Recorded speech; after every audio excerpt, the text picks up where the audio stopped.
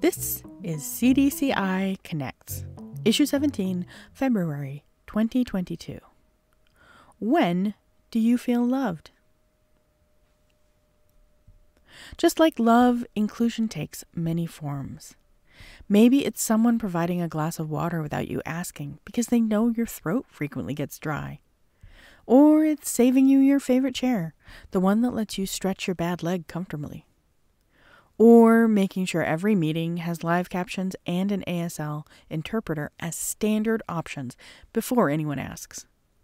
And breaks in the agenda for you to rest your eyes, eat a snack, or just go outside and fill your lungs with as much air as they will hold.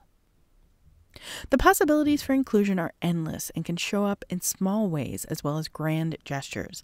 They're the tiny kindnesses that we can all do to keep knitting our communities together. There are ways to begin redesigning systems so that people with disabilities don't face barriers to participation, but know that they are valued and welcome. So, we want to know what do you need to feel more welcome in your community? And what can you do to welcome in others?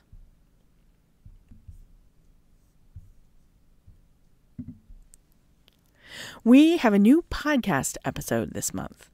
CDCI connects Dr. Winnie Looby and Dr. Safakar Kamabu Pomei.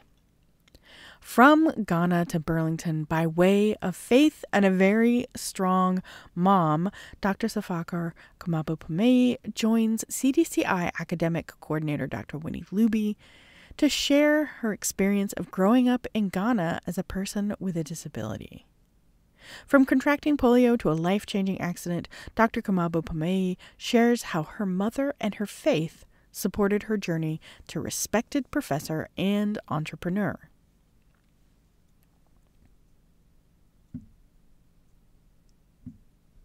Seven Days Vermont is reporting on with schools in crisis mode, students with disabilities are being left behind. Why are Vermont schools failing children with disabilities and their families? And how can we advocate for a system that does better?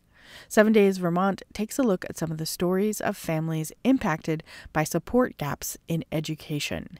The full article is available as text only online at Seven Days Vermont.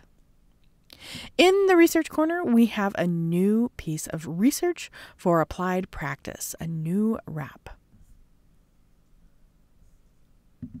It focuses on developing concepts with children and adults who have limited access to vision and hearing. Educators, families, and friends can support children and adults who have limited access to vision and hearing or who are deafblind in developing concepts that contribute to happy and inclusive lives. Here are 15 ways careful partners can lean in with their support. This piece is available as an illustrated study guide in PDF format, a plain text PDF, or a narrated video. You can find out more by going to go.uvm.edu slash cdci research. On the events calendar, on Sunday, February 13th at 4 p.m. Eastern, a virtual event from All Brains Belong Vermont, Brain Club, owning and understanding your own brain rules versus world rules.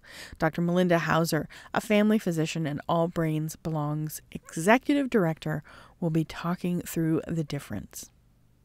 Wednesday, February 16th, Vermont Coalition for Disability Rights will be hosting their first Disability Awareness Day of 2022. The theme is Open to Change, Open to All, and they'll be highlighting their legislative priorities for 2022.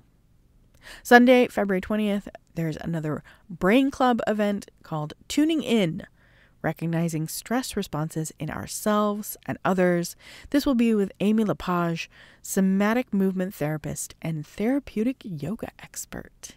4 p.m. Eastern, it will be a virtual event. Tuesday, March 1st, there is training on accessible Zoom meetings and events by Inclusive Arts Vermont. That's a virtual event at 9:30 a.m. Eastern. Wednesday, March 2nd, 1 p.m. Eastern, there's a virtual event from the Vermont Family Network called Advocacy 101 Basic Training on Effective Advocacy for Change.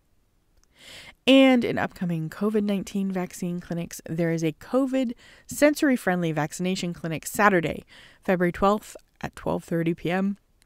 in Montpelier, Vermont. It is open to everyone looking for a customized experience to help support folks with anxiety, needle phobia, sensory processing differences, visible and invisible disabilities of all types, and anyone else who would benefit from an intentionally designed vaccination experience. You must register online at the All Brains Belong website. That's allbrainsbelong.org. This is open to children ages 5 plus up through to adults. And finally, we profile a Think College alum because Think College is turning 10. Taylor Terry is a graduate of the Think College Vermont pr- program and says, quote unquote, I'm living on my own now. I have a job as a cashier. I'm learning to do more things with my cupcake business. I've been working with Green Mountain Self Advocates and doing jobs and training, and I'm a youth ambassador to help people with dis- developmental disabilities to have different alternatives to guardianship. End quote. You can find more over on the Facebook page for Think College Vermont. Taylor Terry shares how her experiences in the program have supported her in starting her own cupcake business, heading out to CookieCon in Orlando, and becoming a mentor to other self advocates. This has been CDCI Connects, issue 17, February 2022. Thanks for listening.